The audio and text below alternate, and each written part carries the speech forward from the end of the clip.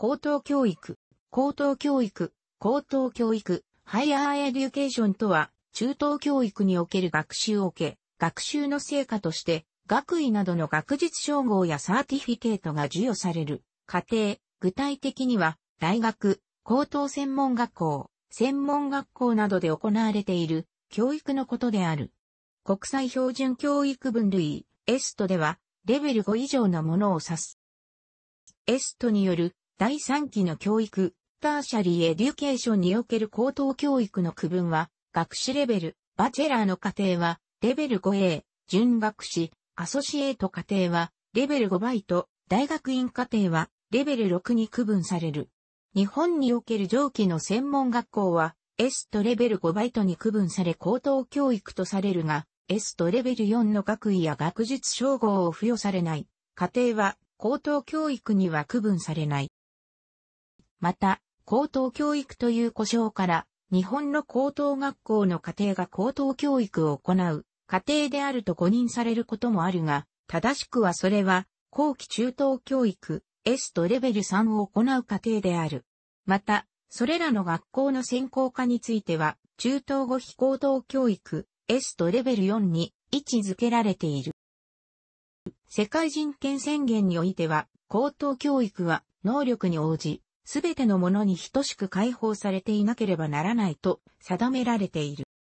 高等教育は中等教育を修了した者、またはそれと同等以上とみなされた者が知識、倫理、技術などを深く学び、さらに、それらの理論や実践を身につける。そのことを通じて、家庭を修了した後に、職業人となるなどして広く、社会に教育の成果を還元する。高等教育を行う学校には、大学、高等専門学校、その他の教育施設があり、教育施設の中でも学位、またはそれに準ずる学術称号を授与する権限を持っていたり、家庭の終了により他の機関から授与されることに特徴がある。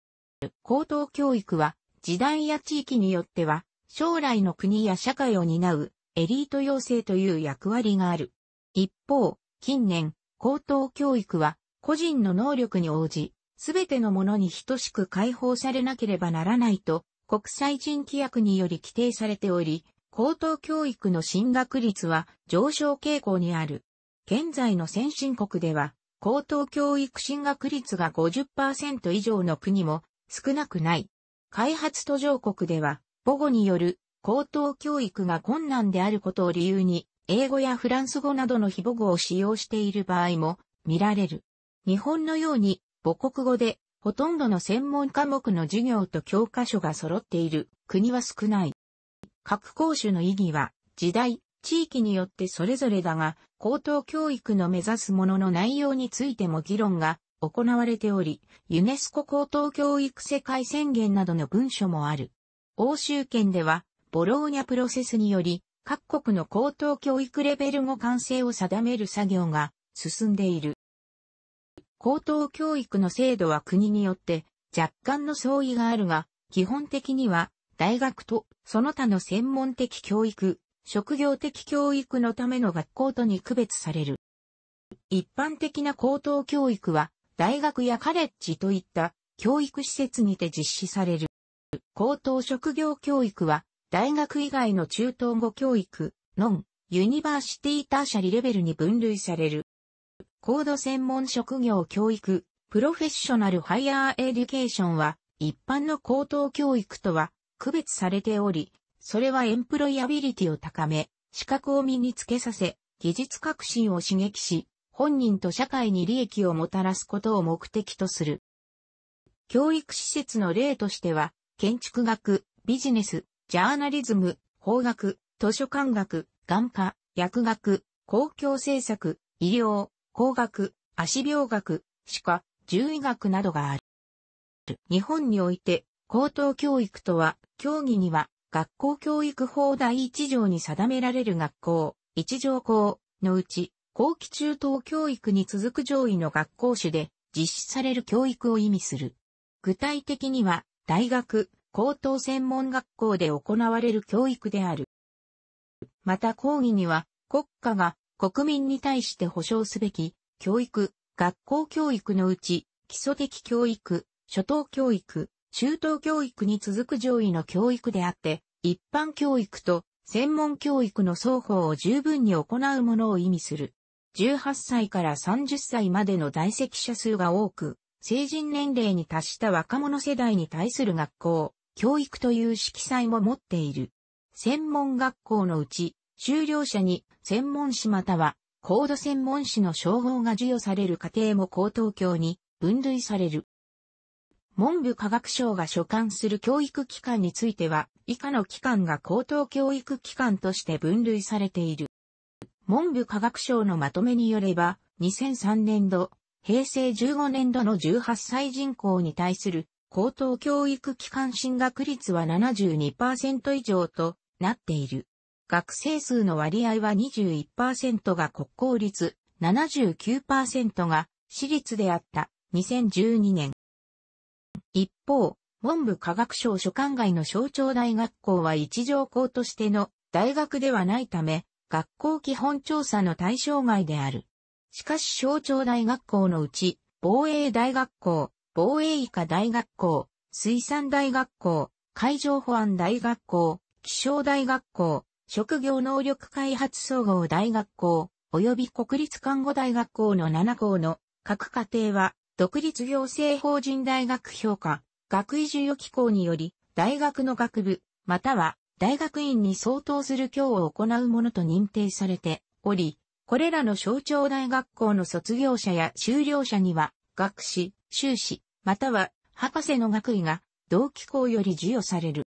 また高等学校専攻科のうち、修了者に大学編入学が認められている過程に関しては、文部科学省告示により、その設置基準が専門学校と同等以上とされていることから、学位、学術称号の授与はないのの S とマイナス5、B 相当の高等教育を受けているものとみなされる。アメリカ合衆国では、リベラルアーツカレッジ、大学、コミュニティカレッジなどが高等教育を担っている。アメリカで連邦政府が運営する大学は、陸、海空軍の士官学校と空軍大学校の他には存在しない。また、米国の大学の数は日本に比べ圧倒的に多く、大規模大学、小規模大学をすべて含めると実に4000以上存在する。楽器はセメスター制を敷く学校とトライメスター制、クォーター制を敷く学校の3種類がある。セメスター制は日本と同じ年に学期制、トライメスターは3学期制で、クォーター制は春夏秋冬の4期から構成されている。クォーター制の夏季は基本的に歩行期間と考えられていて、メジャーな授業は開講されない。州立大学やコミュニティカレッジでは、学費は日本と異なり登録する単位数によって変動する。学校間の提携が非常に発達しており、既得単位の移動が学校間で比較的容易なため、編入が頻繁に行われている。特に費用の安いコミュニティカレッジである程度単位を取得してから同一州内の4年生大学へ編入する方法は、成績、経済的な理由から特によく見かけられる。イギリスでは大学や継続教育カレッジなどが高等教育機関となっている。大学はほとんど総合大学。イギリスの大学は国に属する団体ではない。よって大学の教員は公務員ではない。あくまでも研究費や学生の授業料を国費で援助しているだけである。オックスフォード大学、ケンブリッジ大学などが有名。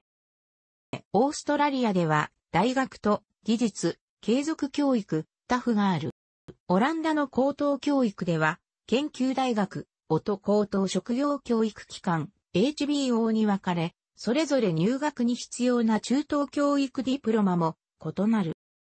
フランスにおける高等教育機関としては、一般大学と最上位に、専門職業教育に重きを置いたグランゼコールがある。フランスには67の大学があるが、グランゼコールはナポレオンが国家エリート養成するために設立した教育機関で別格であり、卒業者は民間企業に就職すると入社直後から課長クラスから始まる。バカロレア、大学入学資格の後に難関の入学試験があり、高校で特に成績優秀者が準備コースや一般大学を経て入学できる。卒業者は、高位公務員や大企業の幹部になる。